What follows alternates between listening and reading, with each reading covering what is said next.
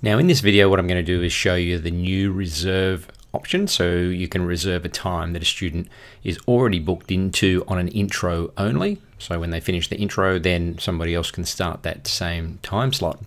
Now here on the, the what, what I'm going to do first of all is create a new student a normal intro booking. So we can go through that process then I'll come back and we'll reserve that time for another student.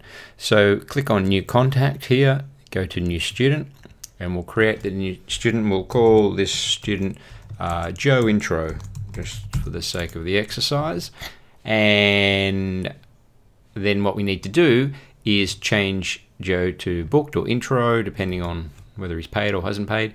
And we're going to click on that book and intro lesson and then that brings up the times that are available. So you can scroll down through all the available times. If you want to select particular days, as always, you can do that up here just by unticking boxes and ticking boxes. Now, you've got two choices here. You can see it's book this daytime, which is in the blue, and then the purple, which is reserve this daytime. So the idea is that we we can book a fresh time, nobody's booked into there, or we can book a reserve, we can reserve a time which is currently being booked. Now, generally, that one there is missing only because there's not really a student in there, but generally you'll see a due date, and that tells you the date that that time is becoming available. So on the 1st of the 5th, that would be available. So let's go ahead and book this time here, Monday, 8 a.m. And there's Joe, you can see up there, Joe intro. And what we do here is then we just select the actual date that he's going to start. And let's say Joe starts on the 27th of the month. And you can see automatically it puts in a due date. So that means that Joe's five lessons will begin here on the 27th of the 3rd, but it will be it will come up due, meaning someone else can book into that time on the first of the fifth. It's also the due time for Joe to join a group or continue on. Now you've got a paid, unpaid here. So if we have Joe is paid and I go to the email confirmation, what I'm going to see is a copy of the email with all his details with the date, the start date, etc. And I can adjust the payment due date here just by changing that. But you can see that it's got the unpaid there, so I get payment due. Now I can change it here to paid, but if I'm in this window when I'm doing the booking, if I know Joe's paid, I can just click on paid there. And then when I go to the confirmation, it's got paid and it's not asking him to pay on the email. So that makes that very easy.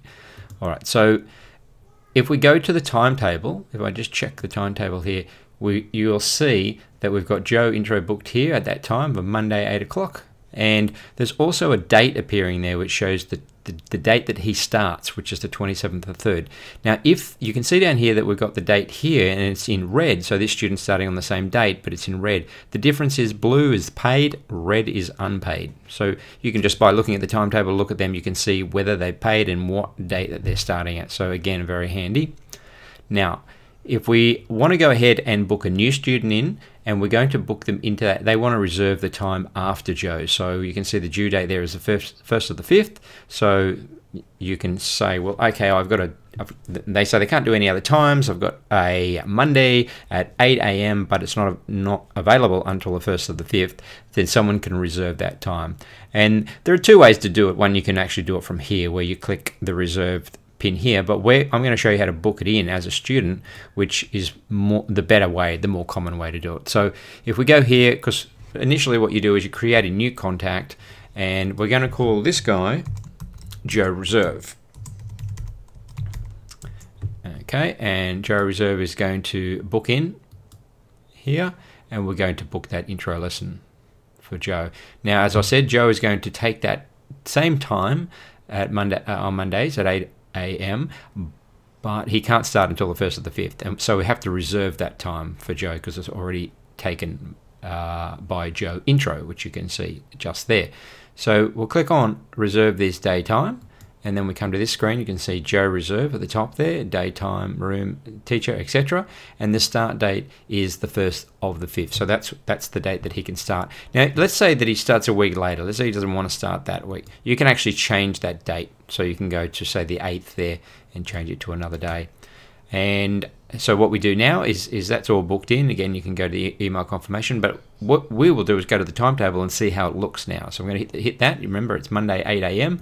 So I'm going to the timetable, and now you can see Joe intro is booked in here, starting on the 27th of the 3rd. We know that he ends on the 1st of the 5th. Uh, because that's when Joe's going to start, and we've got that that due time, meaning that's the the time that Joe will take over that time. So that's how you book the reserve. Now, what happens when you when you come to to take Joe out of there?